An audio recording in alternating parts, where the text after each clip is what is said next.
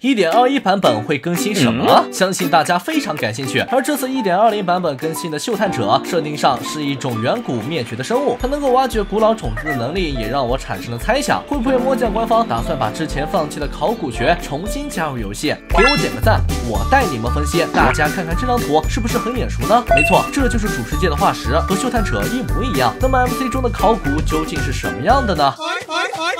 我们用这个模组来示范，它完美还原了当年官方的设计理念。我们可以用铜锭来做刷子，接着在有白色纹路的泥土上刷刷刷，有概率刷出一些物品。当然，正常刷是不能刷出东西的，我们必须得疯狂的抖，抖掉外面的尘土才能成功。泥土会出现在遗迹当中，我们可以在里面寻找到很多东西。我来看看能挖到什么啊？这。